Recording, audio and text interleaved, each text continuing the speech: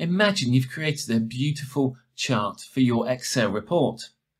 You decide that the users don't need to see the data, it's not relevant to them, so you select the rows and you hide the data. Suddenly, the chart disappears. What's happened? Where's it gone? Well, that's what we're going to answer in this video. And we're also going to go a bit further and see how we can use this technique to create some more advanced user interactivity into our reports and dashboards. So if you're ready, let's get started.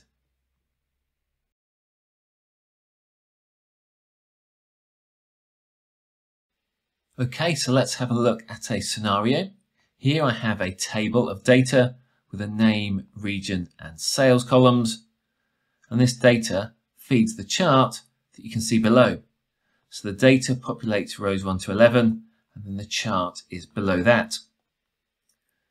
Now if we say that nobody needs to see the data, after all it's contained in the chart, so it's duplication. So I'm going to select those rows, right click and then go to hide. Well suddenly the chart has disappeared as well.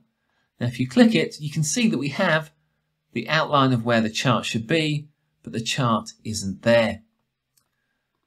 And when we unhide again the chart appears. So how can we fix this issue? I'm going to right click on my chart, come down to select data. Now in the select data source dialog box, there is this button here called hidden and empty cells. You may not even have ever noticed it before. But click that and it brings up these options.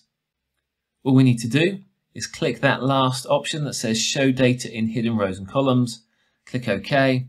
Click OK to close that dialog box as well.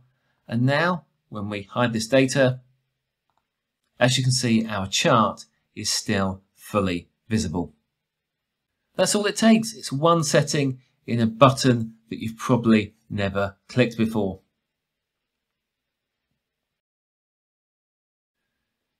Initially, the feature of not displaying hidden data may seem annoying.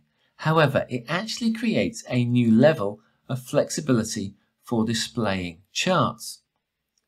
So here, I've separated my chart from my data.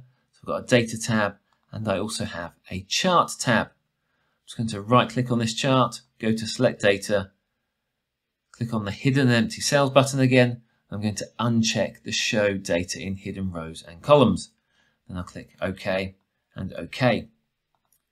What that means is if I now filter my table to show the North region, my chart will only show those people in the North region because the other regions have been hidden. So hidden data actually gives us some flexibility.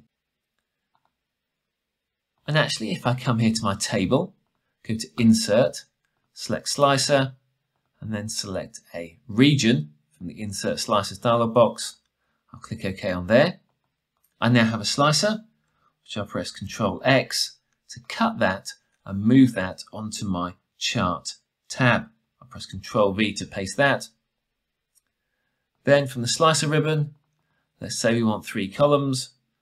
I'll close that up a bit, drag that over. And now we have a dynamic report because we can use our slicer for selections.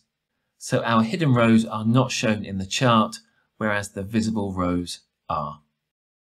Well, that's it for this video. We've seen how Excel's default behavior around how charts interact with hidden data may confuse us, but we've also seen that this gives us an extra layer of flexibility around interactive reports.